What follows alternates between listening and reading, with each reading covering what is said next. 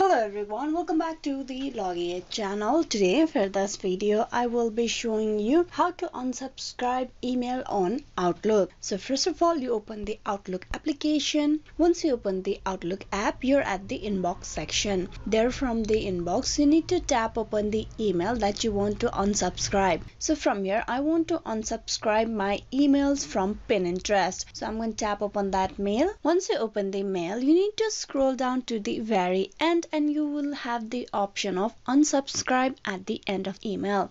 In each and every email that you get from certain website or the application, you will have the option to unsubscribe in that mail as well. That will be available or present at the end of the mail or they would have a certain link or the keyword for the unsubscribe. There you can see the unsubscribe option just beside terms and condition. You tap on that and with this they will ask you whether you want to unsubscribe. There you just need to tap and confirm and you will be unsubscribed from the email from Pinterest. So this is how you can unsubscribe emails on Outlook. Hope this video was useful. Please like and subscribe the Login Aid channel and also don't forget to click on bell icon for the notification and updates. Thank you